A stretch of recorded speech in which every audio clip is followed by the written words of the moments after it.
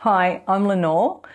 I've been a part of PBC for about nine years now, and in January this year, I went on a short mission trip with WEC to Turin, Italy. And this is my story. About halfway through last year, I tentatively contacted WEC um, to ask them if it would be possible for me to do a short term mission. So they contacted Italy. They replied, Yes, we'd love you to come. We've been praying for an English teacher. I'm an English teacher. And we would like, if you would like, would you like to run an English for Mission course for 10 days? I wrote a 10 day English course for um, Italian adults. And then about that time, my son said, Well, if you're going to Italy to do mission, I'd like to come too. He's 20. So that was a, a real blessing and surprise. The English for Mission course was basically for uh, their short term missioners that go regularly about three or four times a year to European countries like Bulgaria and also to North Africa and Egypt to do short term mission. But the problem is that they have to always go through interpreters, which is cumbersome and expensive because their English isn't really at a good level and they're not confident enough to use their English to share their faith. And the countries that they go to don't speak Italian. So to be able to upskill them to be able to share their faith was a really big thing. Also, many of them were considering going to Bible college in the Netherlands at Cornerstone, which is the WEC Bible College there. And to do that, their English has to be at quite a high level in reading and writing as well as speaking. So that was my job to write a course that could actually help them upskill their confidence to share faith, but also upskill their confidence to be able to um, apply for Bible college and then eventually, hopefully, go to Cornerstone um, in the Netherlands. So for 10 days, with um, us two Australians, two people from Britain, the four WEC team, a local cook who cooked us amazing food every day. From nine o'clock in the morning till six o'clock at night, we met and we studied English, we prayed, we um, took it in turns to lead devotions and share our testimony. I taught them how to use Bible discovery method so that they're able to read the Bible confidently with anyone in any language.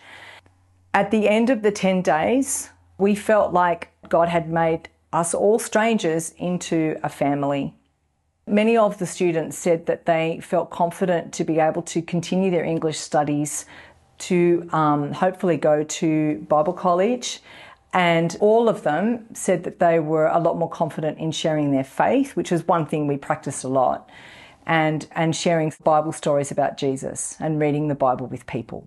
So that was really successful.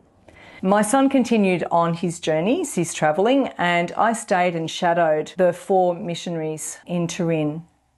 During that time, I helped run homework clubs for children, immigrant children, and visited refugee centres and helped teach North African illiterate women um, Italian.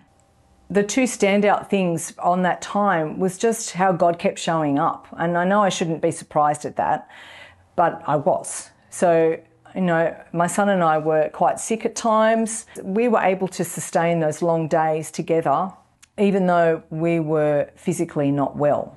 In addition to that, there were many times when it was there was we had anxiety about certain things that were happening or not happening. Um, we didn't know where we were going to eat dinner sometimes, and yet God just showed up each time and provided for us, and and made that next step clear when when we needed it to be clear.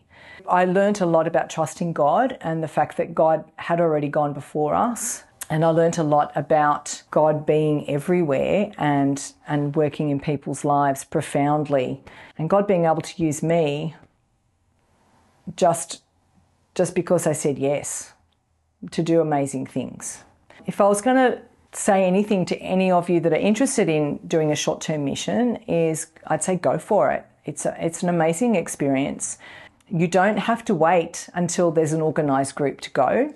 You can actually contact the mission mission society that you're interested in and and ask them, um, can I do a short term mission trip to the country that is on your heart?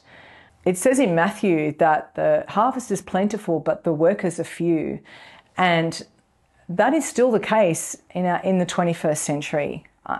I, was astonished by just how big the need is over there. In, and that's just in Italy, that's not Europe, but the, the need is great in Europe as well. 160,000 refugees every year go through Turin, and that's Turin alone, not the rest of Italy. And there are other missionary societies working, but from WEC, there are only five WECers in Italy. That's it, only five. And the, the other missionary societies I know are small too.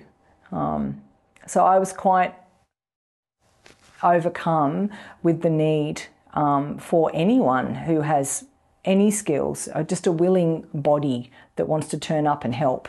Um, there is a great need for everybody. Yeah, thank you.